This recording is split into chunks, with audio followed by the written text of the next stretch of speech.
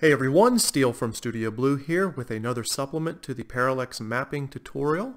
Uh, I'm going to show you how to make really nice reflective water real easily.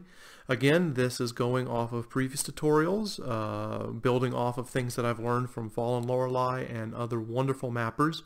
So uh, just follow along. We're going to make this as quick and easy as possible. So first thing you want to do is you want to look at where you're going to go and you want to create a new layer. We're going to call this layer water overlay.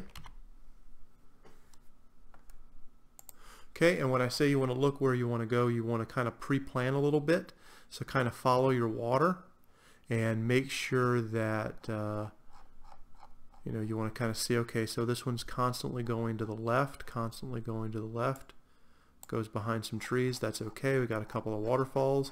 So we kind of have an idea of how the water is going to go in this particular map. Okay and then what you want to do is you want to hide all of your overlay parts. Hide your dirt. Hide your shadows.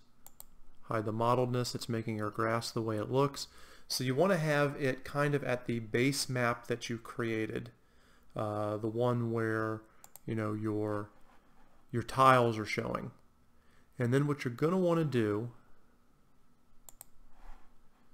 you're going to want to select about that much. Now let's go a bit more because we're going to be overcompensating. Select about that much, copy, then go to your water overlay area and paste. And then you want to kind of line up your overlay.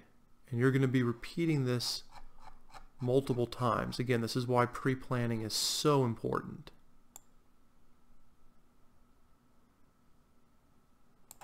I see one area where it's going to be a little sticky right now. But we're going to go ahead and zoom in. And we are going to bring the opacity down so that we can easily operate on this. We're going to kind of carve it out.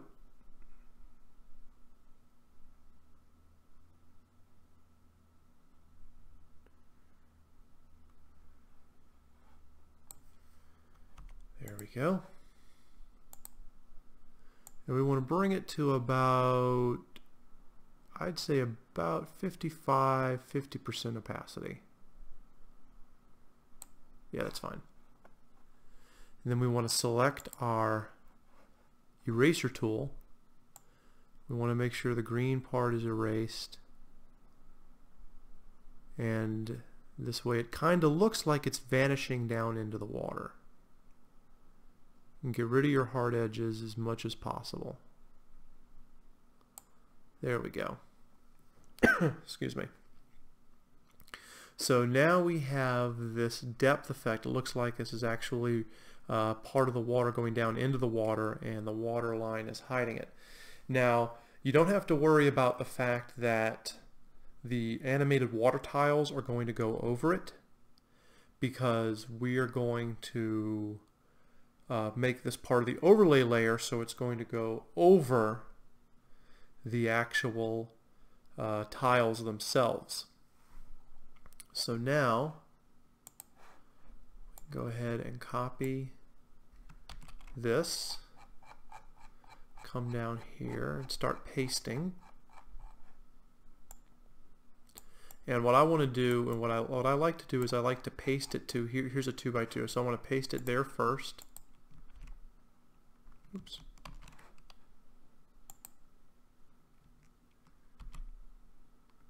Yeah, didn't okay. Probably paste it up there. Again, this is why pre-planning is so important. Yeah, marquee is still there, so it's going to paste up there. So we remove the marquee and then paste, and there we are. So it doesn't look perfect, but then you bring it down to 50% opacity. And suddenly it looks wonderful again. In fact, you can also Control J to duplicate the layer and that'll probably work a heck of a lot faster.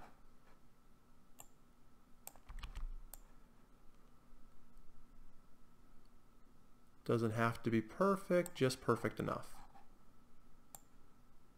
Okay, this is going to be its own little problem, so we'll come and work with that in a second. Right now I'm just placing places where it's two. Okay, that's it.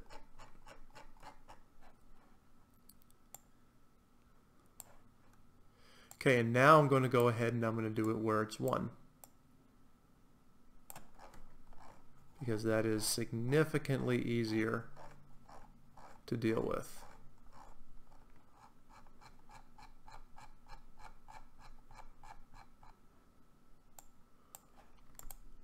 I'm going to paste. Put that there. I'm going to change the opacity.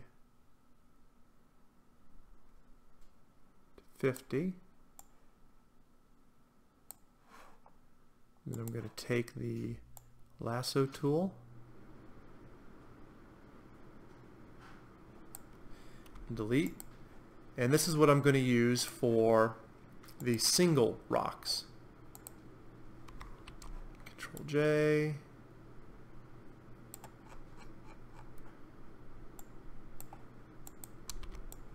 Control J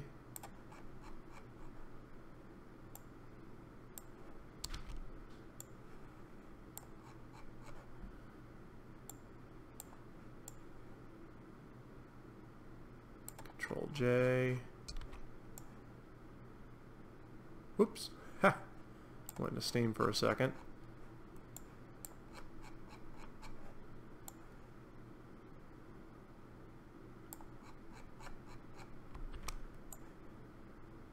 And just keep clicking Control J till you reach the edge of your water.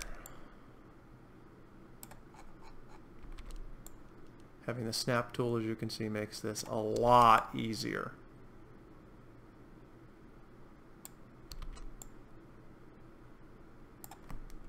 Make sure you save. okay, so now we want to deal with the big one. And I'm going to go ahead and merge these together so that water overlay is all one layer.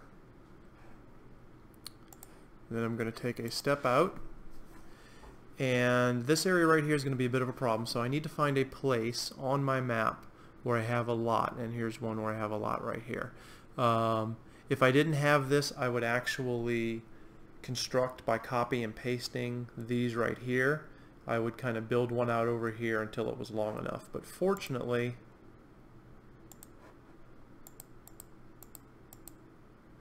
fortunately I already have something kind of pre-made. And I'm eyeballing it as to whether or not, oops, I'm eyeballing it as to whether or not is the appropriate amount. Uh, it should be. If it's not, I'll just go ahead and do it over again. Nope, we're good. Right on the level. Zoom in go, change the opacity. When I'm operating on a level, I like to lower the opacity really heavily. Oops. And just follow along. Doesn't have to be perfect, just perfect enough.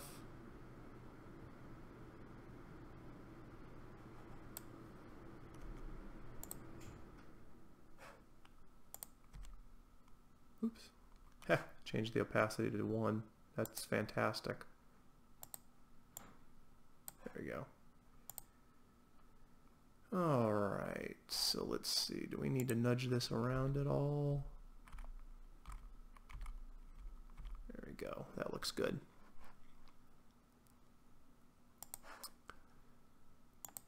Make sure the opacity is at 50%. There we go. Don't want to delete the edges that much.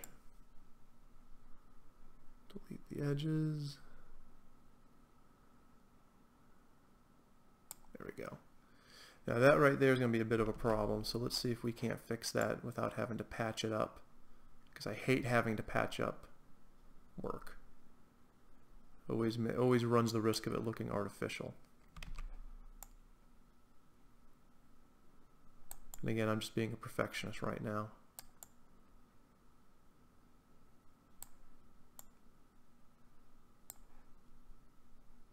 Go. No, we're going to have to patch it up. It's just not going to look good otherwise. So go ahead and delete that. Go to the water layer. Select some work we've already done.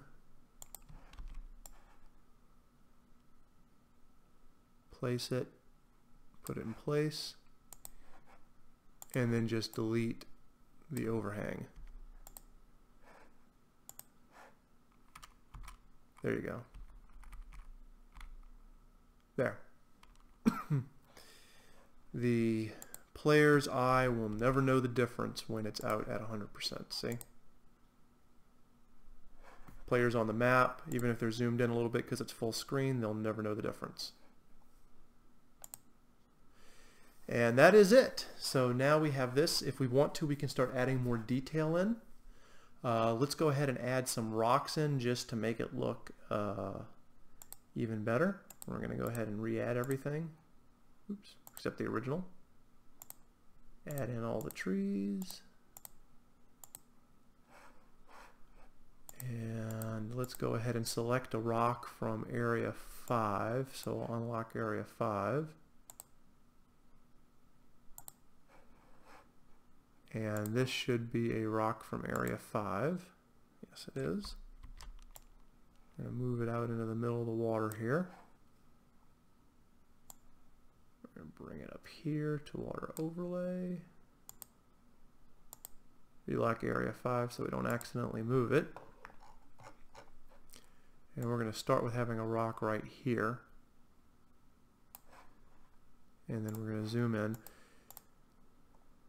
And don't worry that it looks kind of funky right here. This water will not have this modeled look to it when we actually bring things back into RPG Maker because we're going to use a transparent set of water tiles that is transparent as in the rock area is transparent.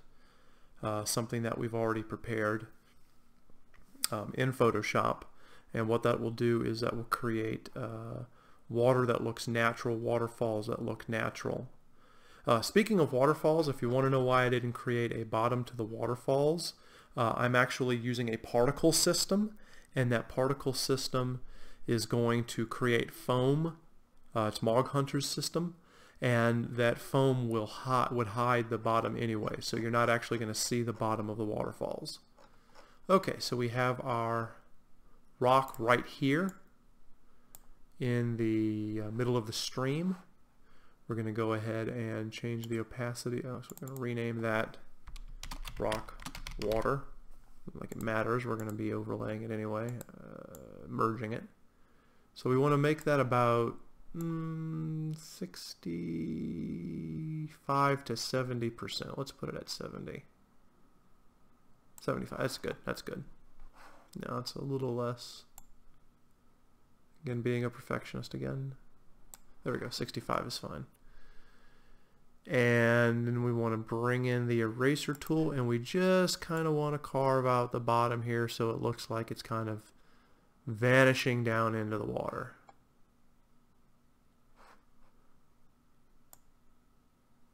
Carve off a little there. There we go. So it looks like it's basically mostly, if not completely, under the water.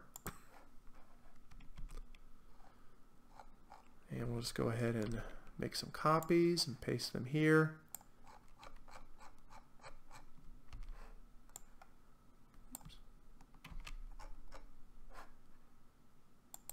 Let's lock the base layer so I don't accidentally move it.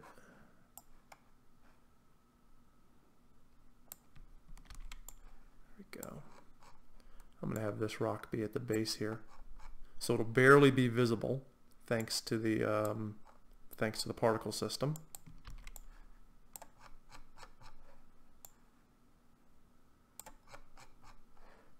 And I'm going to add more than just rocks in a bit. I'll probably spend about another hour working just on the water.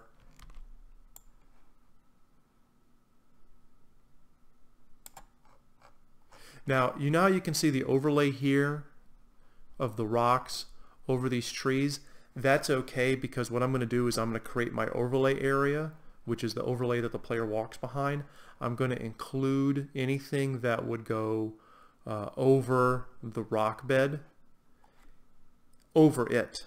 So the overlay layer will be over the water overlay layer so that the trees will go over the rock. It'll all look good. I'll, I'll do another tutorial based off of that so y'all can see how it works. Do another quick video. Let's put a rock right here. I like rocks right before waterfalls.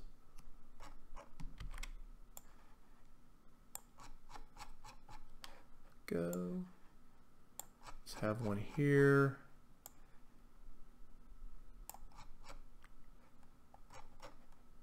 Right there. and then one right there. There we go. okay, so we don't want to just have rocks because that's boring. want to have things like lily pads and flowers as well. So let's come back up here to the beginning. Let's go to our sprite bin where we have all our mini sprites. And uh, let's see. do I want to use one of Pandamaru's. Could. But this one. There we go. Let's use this one.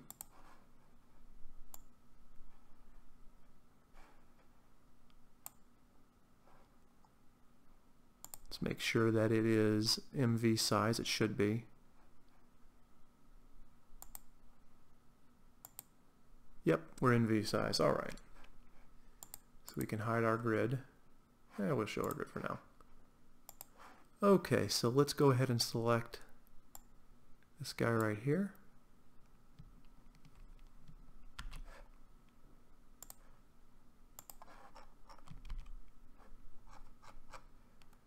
We'll place him over here and the rock over here. And all we're going to do for this guy is bring his opacity down to about 50, 55%.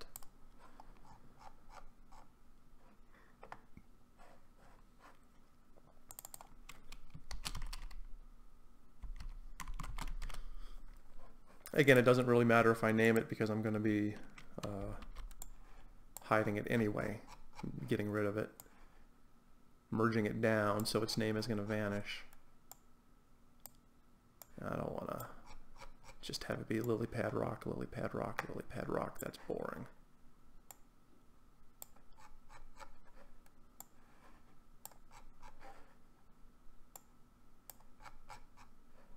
In fact, I'm going to get rid of this rock here.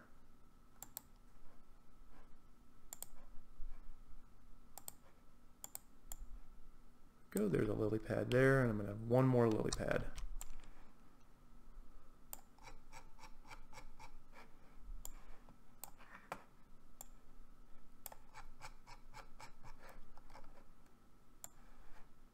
Right there. There we go. then I am going to, let me make sure I zoom in and get it all. I'm going to get the one with the flowers because that one's real pretty. I'm going to add that in once or twice and I'm going to add in another thing once or twice. I'm going to zoom out here. Got a pretty good idea what I'm doing.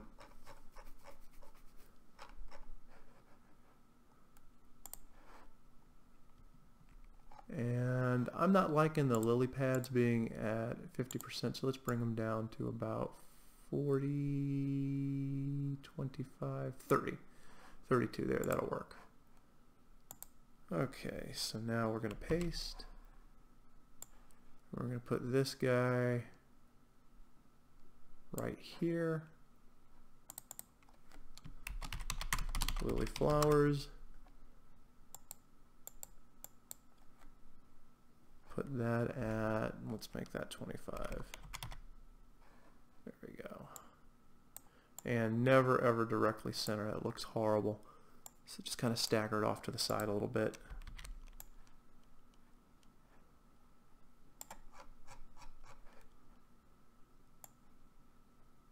I might be out of room.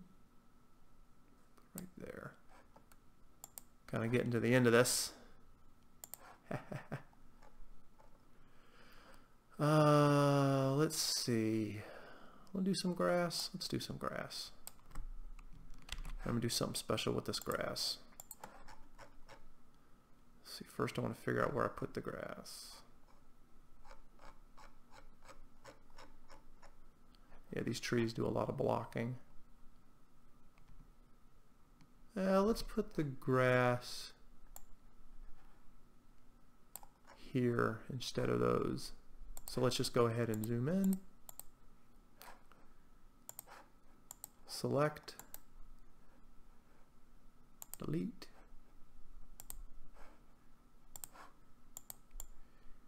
And we're going to do a quick image adjustments, hue saturation, colorize, and we're going to make that green, which it already is. That's fantastic. There we go. 25%. Nope, a little higher.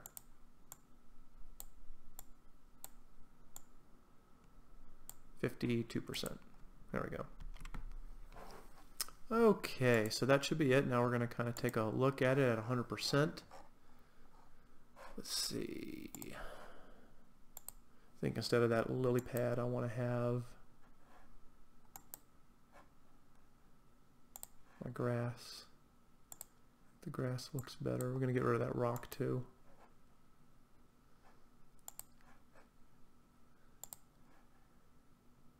So we're going to bring in more grass and I'm going to cluster the grass together right here.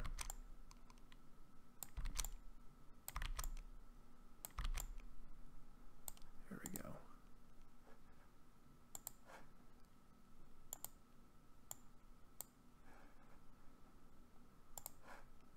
And I'm going to lower the opacity because they're all clumped together so they won't be quite as opaque.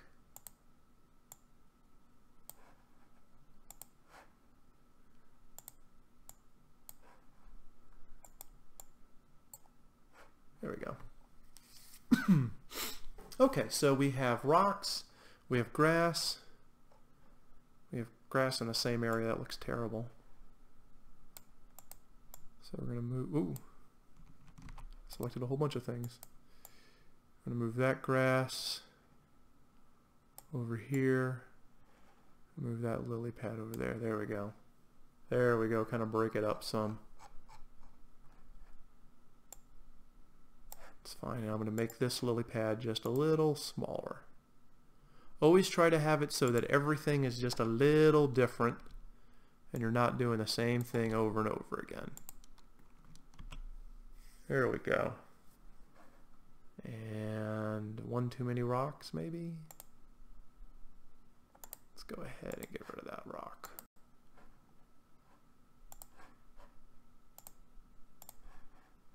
Move that lily pad up. Put it, uh, put it there. Put that rock right there. Again, the regular overlay layer will get rid of it. Okay, so I like the way it looks now. We've got rocks, we've got grass, we've got lily pads, we've got one set of lily pads with flowers. Make that lily pad with flowers a little smaller.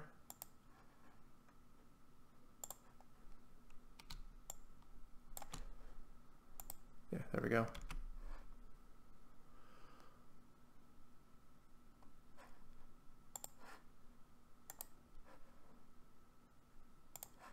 Always subtract if it doesn't look like it fits.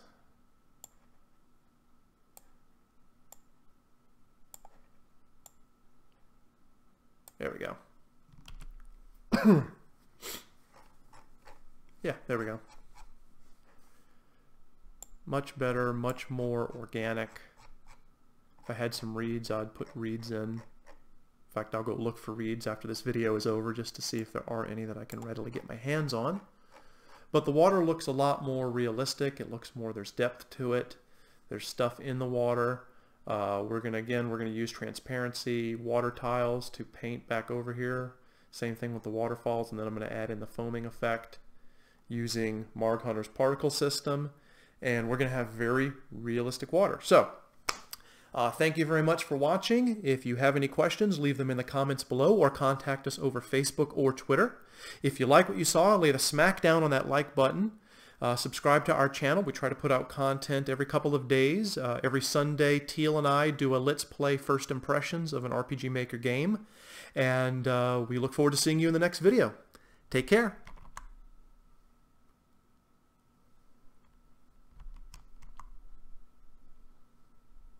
and it hasn't stopped recording. Isn't that cute? There we go. Have fun, everybody.